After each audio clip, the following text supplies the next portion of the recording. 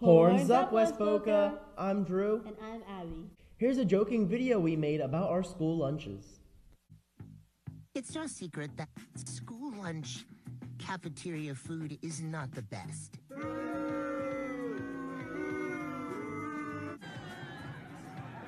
The line is ridiculously long, and we have to wait there for like more than half of the lunch period. Here are some students' opinions on the food. What do you think about the school cafeteria food? I was eating the chicken and I started choking on it. Not, not, not, not, not. Not to mention, I love how our vending machines are like always broken. Go Bulls. The only thing that's probably good, it maybe the stromboli and the chicken tenders. Other than that, dear West Boca, maybe consider getting better food options for the school cafeteria, please. Coming up at West Boca, don't forget that best-selling author Kathleen Glasgow will be at our school tomorrow during lunch in the Media Center. Anyone can stop by to ask questions or get books signed. Science National Honor Society is having their senior send-off meeting tomorrow at lunch in room 5116. Seniors, make sure you have all requirements completed to obtain cords. All members must be present for attendance.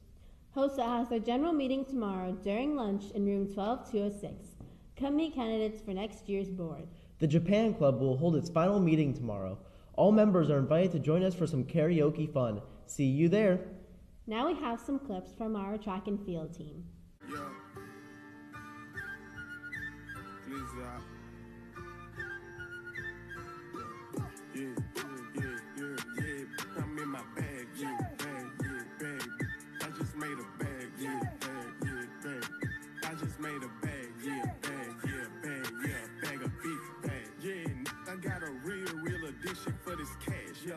I got a real ambition for this cash, yeah.